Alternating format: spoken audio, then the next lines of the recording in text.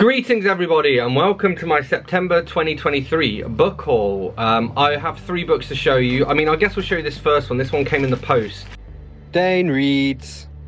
Uh, this was sent to me by Rattle, which is a literary magazine which I have a subscription to because I submitted to some of their competitions. So uh, they have sent me, oh it's two, I thought it was only one. They have sent me Rattle issue number 81. Uh, and they've also sent me At the Car Wash by Arthur Russell uh, Rattle Chapbook Prize winner. So very cool. Um, and then also I've been doing a big clear out here and as part of that I've been taking some stuff to some charity shops.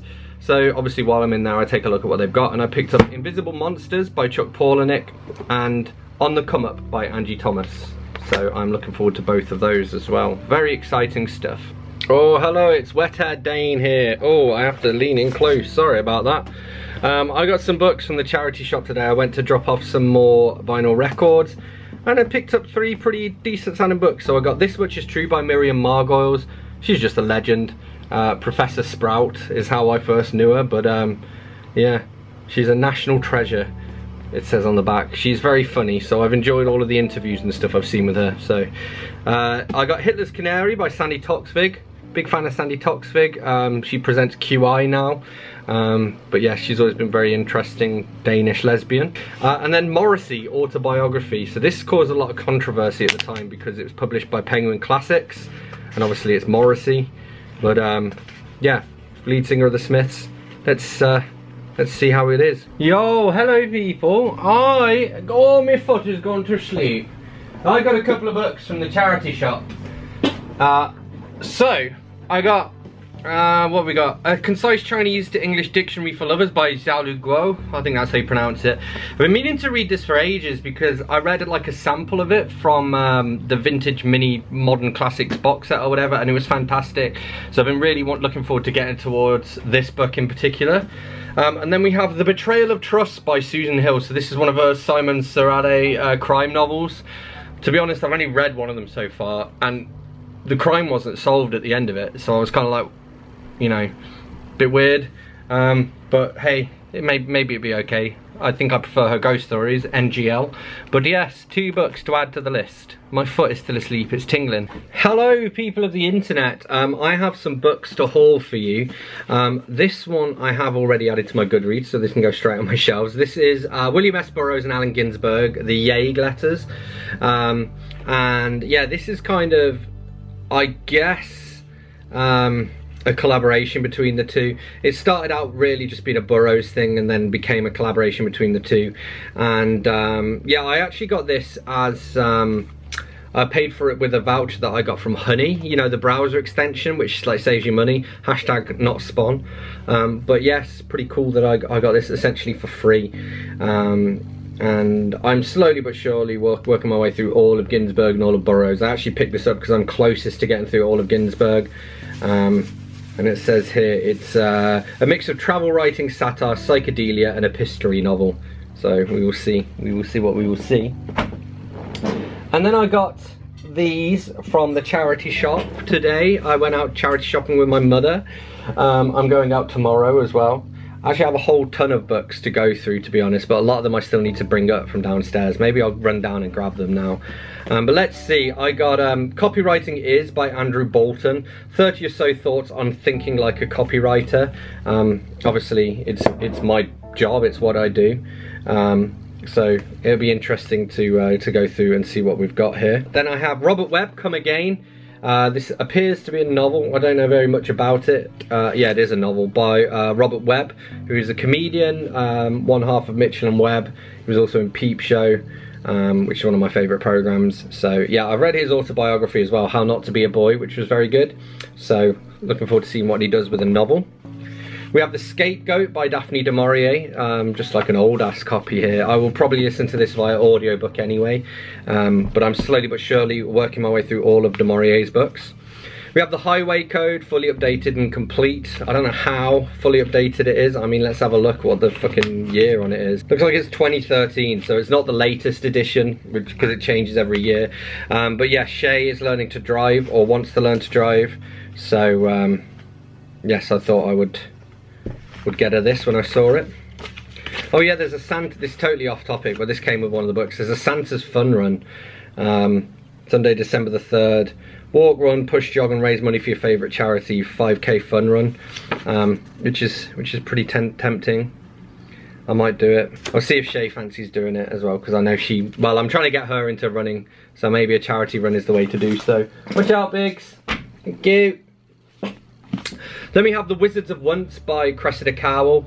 Um, she wrote that, so I keep putting these books in front of my face. Uh, she wrote the How to Train Your Dragon series, which I've read most of and very much enjoyed. This, I believe, is a standalone. Um, but yes, I just saw it and was like, yes, I will for sure pick that up. Right, let's go, let me go and grab some more for you. What about all these to Goodreads afterwards? It's gonna take me all fucking yeah. Oh!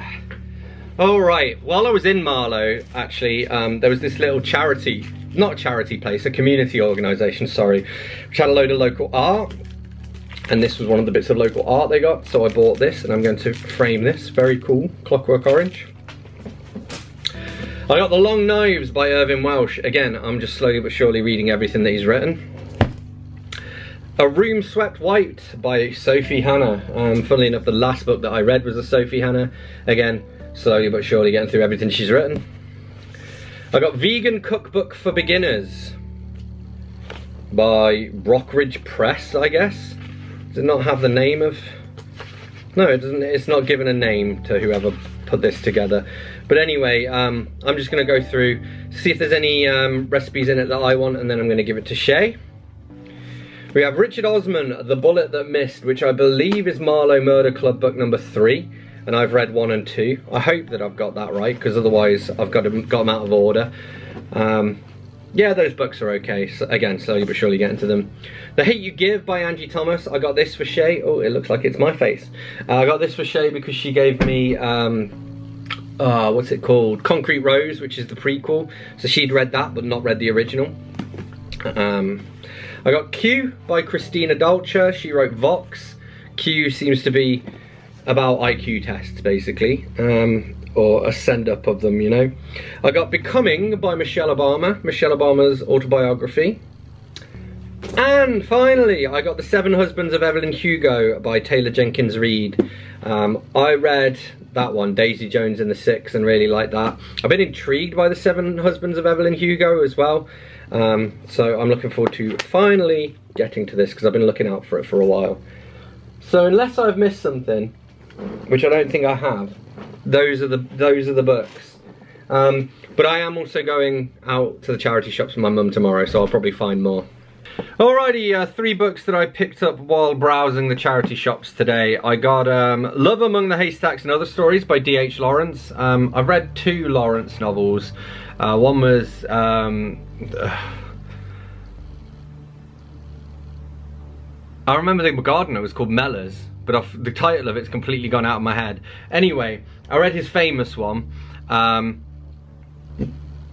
Mrs. Fuck, that's gonna bother me now. Lady Chatterley's Lover, that's what it was. Didn't find it, it just came back to me. Um, so yes, I've read that and another Lawrence, I can't remember which one, and I enjoyed it, so that was a good little find. I picked up Under the Milkwood by Dylan Thomas, um, just because why not? Bit of Dylan Thomas. And then I got uh, Ayoade on Ayoade, a cinematic odyssey, um, which is just Richard Ayoade. Hello, just the one book to haul for you today. This took nearly two months to arrive here. This is Handy Mandy in Oz by Ruth Plumly Thompson. So this is Oz book number 38 or something, 28 maybe. I don't know, I haven't got a clue to be honest. This is a very cheaply made public domain edition. Um, we must almost be at the point now though, where these these, I mean, this was 1937, and I can't remember how long when stuff reaches the public domain, but eventually we're going to be, be at the point where there won't be any of these cheap, shittily made public domain versions available, which is both good and bad, because it might mean that I can't actually get hold of the book, because it might be out of print. But yes, that is what I've received. I will be reading that soon to continue the Oz books. Hello, just a quickie. I got some books in the post today which I, I, won in a job lot on eBay. So we have five Arthur C. Clarke books. I'm not sure which ones of these I've read in the past. Um, I know there are a few that are new to me, so I need to check on my Goodreads. But yes, so we have Arthur C. Clarke, Earthlight, Arthur C. Clarke, The Fountains of Paradise. I've definitely read that one. Arthur C. Clarke, The Hammer of God. Arthur C. Clarke, The Deep Range, and Arthur C. Clarke, Tales of Ten Worlds. So I think out of these it's just the Fountains of Paradise, which I have read, but I'm not 100% sure. Alright guys, just the one book to haul for you. This came in the post today. This is uh, Blood for Coins, The Sabres Nocturne Book 1 by Cam Wolfe. Our very own Cam Wolfe here on BookTube. I've been impressed with the quality of his stuff in the past. Uh, you get some good editing on board. I mean, it's got a map, it's really nicely cover designed, interior layout, all of that stuff.